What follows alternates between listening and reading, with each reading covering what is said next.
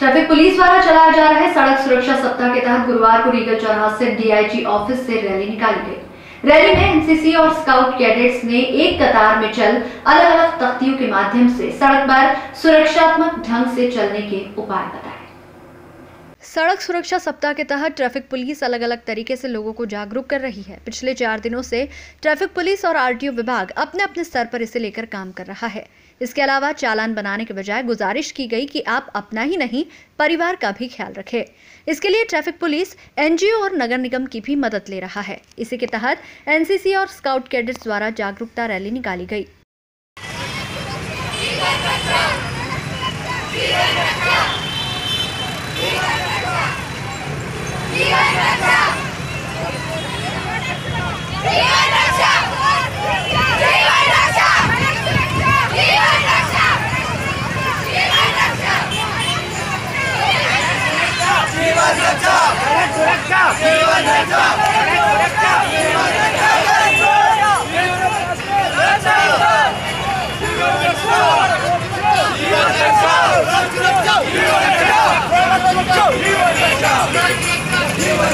वहीं सड़क सुरक्षा सप्ताह पर प्रीतमलाल दुआ सभागृह में वाद विवाद प्रतियोगिता का आयोजन किया गया, जिसमें स्कूल व कॉलेज छात्रों ने बढ़ चढ़कर हिस्सा लिया।